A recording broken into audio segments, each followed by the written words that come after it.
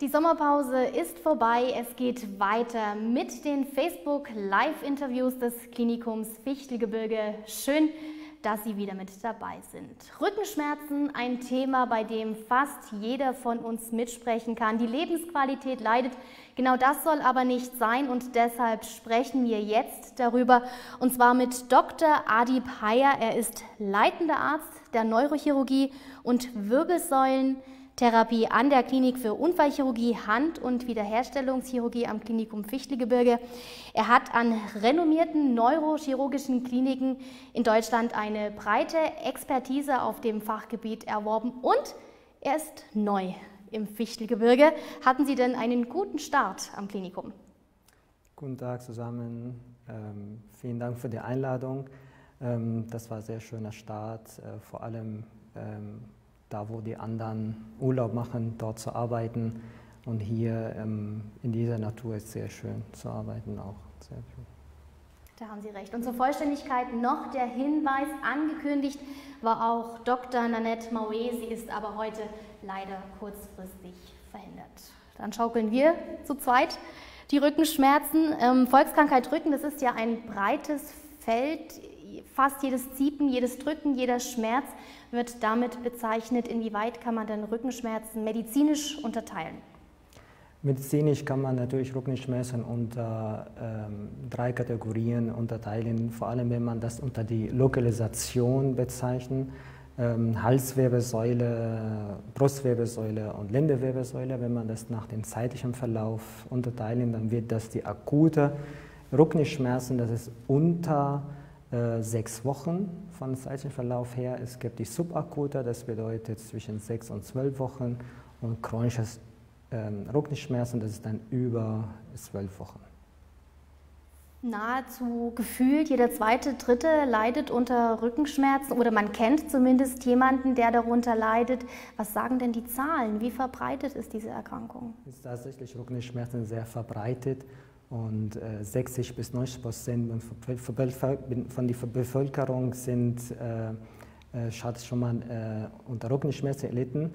Ähm, natürlich ist diese äh, Zahl äh, auch in der äh, Arbeitsleben auch zu spüren. Und zwar ähm, inzwischen, ähm, Nummer, ist es inzwischen Nummer eins nach, wenn man das die Fähigkeit berechnet für Personen unter 45 Jahre alt, wäre Rückenschmerzen ist die Nummer eins als Begründung für äh, äh, Arbeitsunfähigkeit.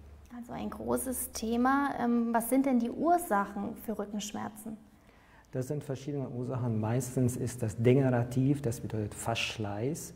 Äh, dann gibt es auch die Traumata bedingt und dann gibt es die ähm, infektiöse äh, Geschehens und es gibt natürlich auch die Deformitäten, das von Geburt an äh, so ein frühzeitiger Verschleiß den äh, Wirbelsäuleapparat. Müssen Rückenschmerzen immer körperliche Beschwerden oder körperliche Ursachen haben, so rum? Ähm, nicht unbedingt. Also man sagt sogar tatsächlich, funktionell gibt es ähm, bis 85 Prozent äh, keine Ursache im Endeffekt dieser Rückenschmerzen. Das geht, vergeht von alleine. Also nach äh, vier Wochen ist das äh, knapp bis 90 Prozent dieser Schmerzen ist äh, ohne Therapie sogar verheilt. Ähm, die 10 Prozent, was übrig bleibt, das ist spezifische Rückenschmerzen. Da muss man natürlich drauf schauen und genauer äh, äh, analysieren und untersuchen und diagnostizieren. Sie haben im Vorgespräch schon angedeutet, die Warnsignale, die sind so sehr wichtig. Welche Warnsignale gibt es denn?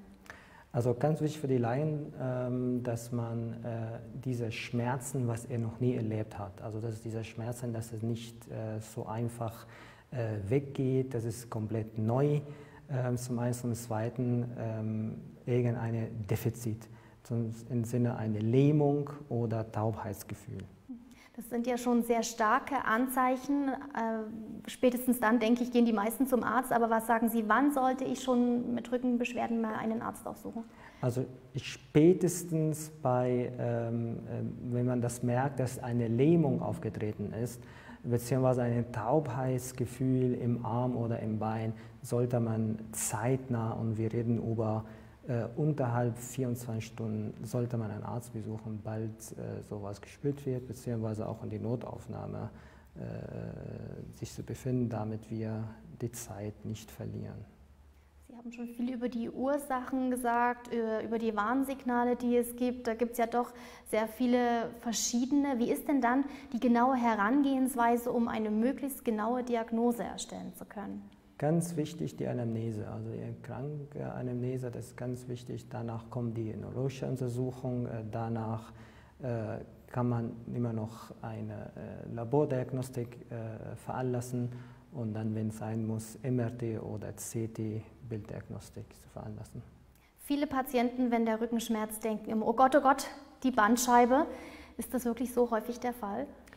Ist zum Glück nicht. Also das ist tatsächlich ähm, 90 Prozent ist das funktioneller Schmerz. Das heißt, äh, man findet äh, nichts, äh, was dahinter steckt. Es ist nur bedingt an der Funktion der Apparat muskulär, von der Muskel, von der Gelenke. Und da bleibt nur noch die 10 Prozent, ähm, was man als spezifische Rückenschmerz bezeichnet. Und hier wenn man auf die Lendenwirbelsäule bezeichnet, dann ist es ein bis drei Prozent, was da übrig bleibt, dass man sagt, dass es tatsächlich ein Bandscheibenvorfall ist. Hm. Rückenschmerzen variieren sehr stark in ihrer Stärke. Das ist jedem bewusst und ich glaube, das müssen wir auch beachten, wenn wir jetzt über die Behandlungsmethoden sprechen. Was sind denn effektive Behandlungsmethoden im Bereich der Rückenschmerzen? Es gibt äh, heutzutage, man definiert konservative Therapie und invasive Therapie. Konservative Therapie, das ist immer die Physiotherapie mit Schmerzmittel.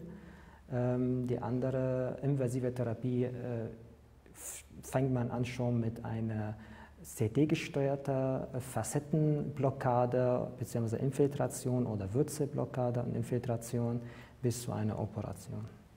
Hat sich in den Behandlungsmöglichkeiten da in den letzten Jahren viel getan? Tatsächlich hat sich viel getan im Sinne, dass man, man wird immer äh, definiert, man operiert nicht mehr die gesamte äh, Wirbelsäule, äh, die, die, die, die Schnitte, die Hautschnitt zum Beispiel wird jetzt äh, nur noch äh, als äh, Drittel, was man von damals vor zehn Jahren gemacht hat, oder auch sogar endoskopisch, auch aktuell mit der Endoskopie, das ist nur als Bohrloch zu bezeichnen, also es ist ein kleiner Schnitt und nicht mehr so Riesenschnitt. Und das bedeutet am Endeffekt für den Patienten einen kürzeren äh, Krankenhausaufenthalt. Sie haben die Operation angesprochen. Viele Patienten, man hört es immer wieder, haben Angst, dass bei Rückenschmerzen schnell und gleich operiert wird. Ist denn das der Fall oder inwieweit ist das der Fall? Also ich sage mal so, für uns jetzt in der Sektion Neurochirurgie hier am Fischelberger wäre man nur nach äh, ausgiebigen Gesprächen und bei bestimmten Indikationen die Operation äh, Indikation stellen. Das wird erstmal auch sogar die ganze konservative Therapie ausgeschöpft und dann, wenn das nicht möglich anderweitig, dann wird operiert. Äh, natürlich es gibt auch Fälle, die man sagt, das muss operiert werden. Es gibt keinen anderen Weg und ähm, was man kann und soll, das ist immer dieser Graubereich, da muss man immer mit dem Patienten in ein Beratungsgespräch äh, zusammen äh, und äh, entscheiden dann am Endeffekt, was man am besten, was ihm, dem Patienten auch passt. Bei einer Operation spielen natürlich dann auch die Ängste mit. Wie gefährlich ist heutzutage eine Operation im Wirbelsäulenbereich? Ähm, jeder Chirurg wird das verstehen, was ich sage. Also es, ist, es, es gibt keine Operation ohne Risiko. Risiko ist immer mit dabei. Es ist, es ist halt äh, ein Unfallrisiko. Ich bezeichne das immer wie beim Autofahren. Unfall kann immer passieren. Also heutzutage diese kleine Operation um das Bandscheibenvorfall oder Spinalkanaldekompression, das ist der häufigsten am äh, Rücken ähm, zu operieren aktuell, ist das dann ein Restrisiko, die immer dabei ist und in der Regel passiert nichts. Es gibt ja auch immer so Mythen rund um bestimmte Krankheiten. Ich denke, auch bei den Rückenschmerzen ist das der Fall. Was ist denn für Sie so ein typischer Mythos, der unter den Patienten kursiert? Tatsächlich gibt es viele, aber die meisten denken auch, äh, ich bin noch so jung, da passiert mir das nicht. Ähm, und tatsächlich, wir leben auch sogar, ein jüngster Patient, der war bei mir 25 Jahre alt. Tatsächlich, also es kann äh, jung bis alt treffen. Also das ist, äh, dass man sagt, ich äh, bin zu jung, das wird mir nicht passieren. Also tatsächlich, das ist Einzige, der sehr verbreiteter Mutus in, in, diesem, in dieser Rückenschmerzen-Sache. Äh, also kann es uns alle betreffen. Äh, was bedeuten denn jetzt speziell chronische Rückenschmerzen für die Psyche? Wie sehr leidet da die Lebensqualität? Ähm, das ist tatsächlich nicht so einfach, ähm, diese chronischen Schmerzen und ähm, mit der Psyche zusammenzuhängen. Das ist sehr, sehr ein schwieriges Thema und äh, tatsächlich ist das so, dass man im, unter die seelische Belastung bzw. die psychische Erkrankung kann tatsächlich so eine psychosomatische äh, Rückenschmerzen führen und hier muss man natürlich nicht nur die körperliche äh, Ursache suchen, sondern auch im Kopf äh, die Ursache zu suchen. Gibt es einen kleinen Tipp, den Sie diesen Patienten mit auf den Weg geben möchten? Ähm, auf jeden Fall, man muss nie dieses äh, Thema, äh, dieses Thema äh, als erstes äh, äh, hinnehmen, dass der Patient als Psycho Patient ist oder als äh, Patient, der nur auf die Rückenschmerzen auf diese Schiene zurückzuschieben, sondern man muss immer alles untersuchen und alles abklopfen und, und, und, und 100% sicher, dass es tatsächlich nichts daran anders, was anders liegt. Dann kann man immer noch sagen, okay, da sucht man dann die Sache woanders. Das bedeutet, der Patient sagt, körperlich ist nichts zu finden, aber ich habe immer noch Schmerzen und das wird dokumentiert, dass es der Fall ist, dass körperlich nichts vorhanden ist, dann sucht man tatsächlich im Kopf und da braucht man natürlich eine äh, sehr professionelle Hilfe im Sinne einer stationären Schmerztherapie. Und da wird dann viele äh, Kollegen, die auch Psychologen, äh, manchmal auch sogar Psychiater und äh, äh ein Team, ein komplexes Team, das, das diese Patienten betreuen können. Jetzt wird es spannend, noch spannender. Wir schauen mal nach den Zuschauerfragen, denn die Facebook-User sind ja aufgerufen, ihre Fragen an Sie zu schicken. Herzlichen Dank. Die Brigitte fragt nochmal nach dem Bandscheibenvorfall, den wir vorhin schon angesprochen. Wie wird denn ein Bandscheibenvorfall behandelt? Tatsächlich heutzutage, wenn man den Bandscheibenvorfall operieren, wenn es zu einer Operation kommen sollte, dass man nur diesen Vorfall, nur dieses Stück, was da rausguckt, entfernt. Also das ist nicht mehr wie damals vor 15 Jahren, dann hat man die ganze einfach entfernt und die ganze einfach so leer gelassen.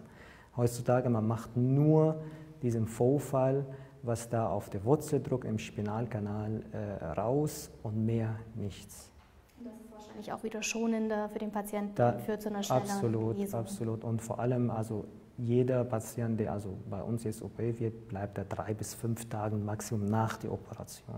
Also das verkürzt die ganze Aufenthaltsdauer im, im Krankenhaus.